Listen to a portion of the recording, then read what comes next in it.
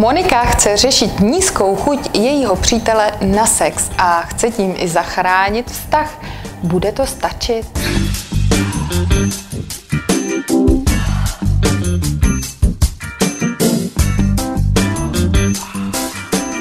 Monika nám na www.sex-coaching.cz do poradny napsala následující vzkaz – Potřebovala bych od vás poradit, zda byste doporučovala navštívit eh, kurz nebo individuální sezení se sex coachem. S partnerem jsme spolu dva roky, sexuální strana je velice špatná. Já jsem před ním byla velmi aktivní a sex mě moc bavil. Bohužel on aktivní nebyl vůbec a podle toho také náš vztah vypadá. Pokud má dobrý měsíc, tak se mnou spí dvakrát za měsíc, běžně jenom jednou.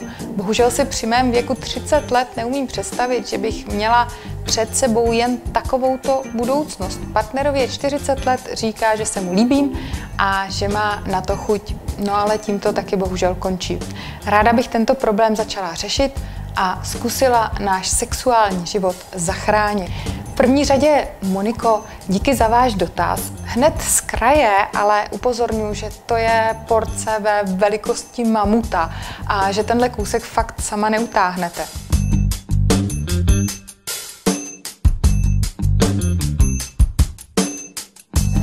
Bude vám s tím muset pomoct i váš přítel a to fakt aktivně, nejenom říkat, že se mu líbíte a že na vás má chuť. Těmahle řečma vám v podstatě mamuta odtáhnout do jeskyně fakt nepomůže. A taky je třeba, aby váš přítel pochopil, že váš sexuální mamutek jo, je i jeho práce a že eh, hlavně z mé zkušenosti vlastně s těmi kurzy, které vedu pro muže, je bývá největší problém toho muže přimět k tomu, aby si uvědomil, že jeho vztah je v krizi. Takže je opravdu důležité, aby pochopil, že tenhle mamut je problém, že ohrožuje vlastně celý ten sexuální mamut váš vztah, že to není a netýká se to jenom toho sexu. To je opravdu důležité, aby si váš partner uvědomil a to bude váš první krok, jestli s tím vlastně vůbec budete chtít něco dělat.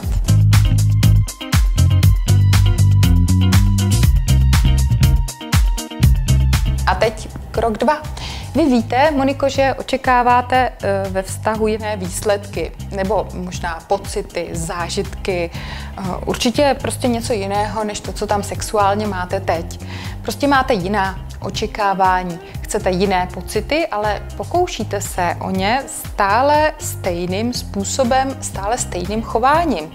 Na vaší straně jsou to nějaké pokusy o změnu, um, snažíte se vlastně něco um, udělat jinak, snažíte se přimět toho partnera ke změně, no a na straně vašeho partnera zůstává chování úplně nezměněné. Upozorňuji vás, že stejným chováním se k jiným výsledkům fakt nedostanete.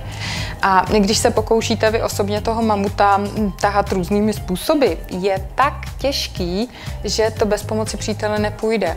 E, fakt ne, to je jako realita, jo? Co tedy opravdu má smysl dělat?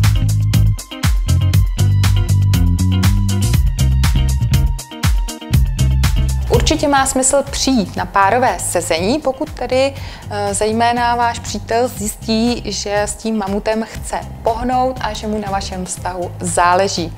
Promluvíme si společně o tom, jakou hodnotu má pro každého z vás sex a proč je vlastně důležitý. Během toho vlastně zjistíte a zjistí hlavně váš přítel, co pro vás všechno sex znamená, proč je či není důležitý?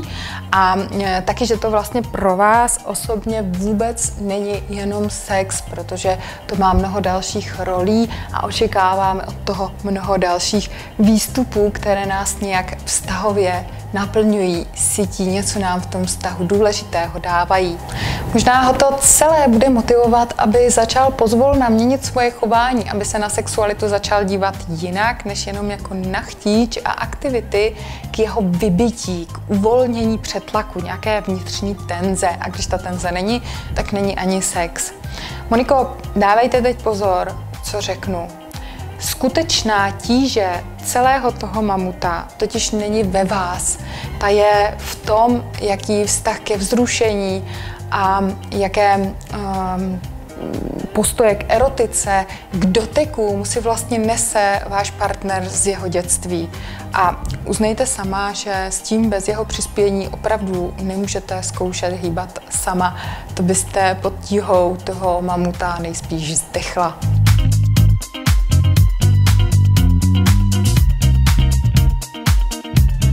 Takže rozhodně párové sezení, pokud bude partner chtít přijít. A pak jsou tu ještě další dvě varianty, o kterých budu svobodně a otevřeně, bez veškerých eh, předsudků a bez cenzury mluvit v naší plné verzi na www.sex.cafe.cz, kde najdete pokračování tohohle videa a s ním i pár tipů, nad čím byste se Moniko měla zamyslet. Je to takový mini coaching v kostce a um, vy se můžete podívat na celé tohle video u nás na stránkách po registraci. V momentě, kdy eh, se přihlásíte, tak dostanete přístup eh, k videím na celý týden zdarma, čili se můžete podívat na celý 30-hodinový archiv a pokud nás budete chtít podpořit 99 korunami a získat tak přístup na celé dva týdny, budeme velmi rádi, protože tuhle práci děláme jenom pro vás a protože nám YouTube neumožňuje dělat žádné reklamy ani uh, inzerenty pouštět do našeho programu, tak budeme velmi rádi, pokud nás v naší činnosti podpoříte. Takže na www.sexpomočka.cafe.cz najdete pokračování tohoto videa a pokud se nebudete dívat, příští týden se s vámi budu těšit zase na viděnou a my se teď, Moniko, pustíme do toho našeho mini koučovacího sezení v pokračování tohoto videa.